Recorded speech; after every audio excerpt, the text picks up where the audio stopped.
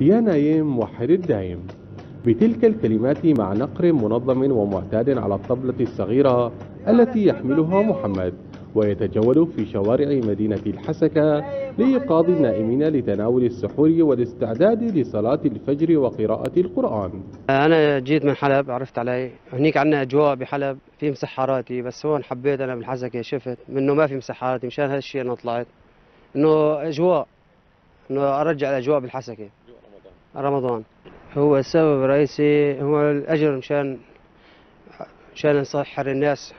بدأ ما بتعرف إنه بهالوقت هذا ما في جوامع تفيل الناس.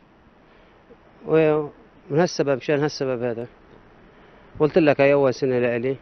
عرفت علي كيف؟ ويقول محمد ابن مدينة حلب إن مهنة المسحرات لم تكن موجودة بالحسكة خلال السنوات الماضية.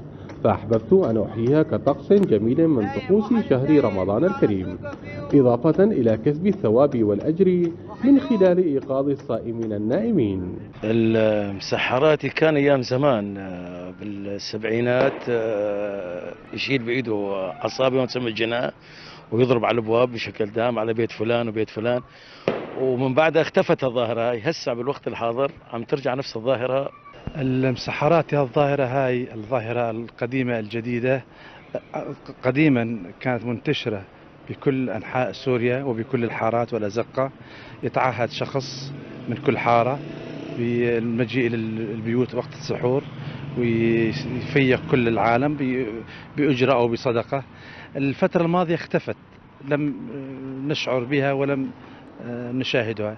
الآن بهذا الشهر الفضيل شفنا هالبهجة وهالشيء اللي افتقدناه الفترة الماضية كلياتها فإحنا نتفائل خير إنه بعودة المسحراتي وعودة بهالشهر الفضيل إن شاء الله يعم الأمن والأمان لسوريا وترجع سوريا كما كانت. المسحراتي أدخل البهجة والسعادة في نفوس أهالي الحي وأعاد بهم الذاكرة لثمانينيات القرن الماضي متمنين أن يعود الأمن والأمان لسوريا مع عودة عادة المسحرات أحمد الحمدوش لإخبارية سوريا الحسكة.